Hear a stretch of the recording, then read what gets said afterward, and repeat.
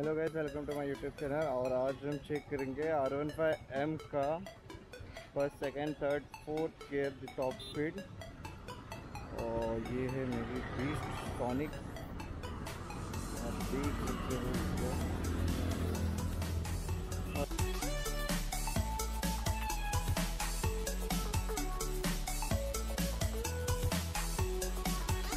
तो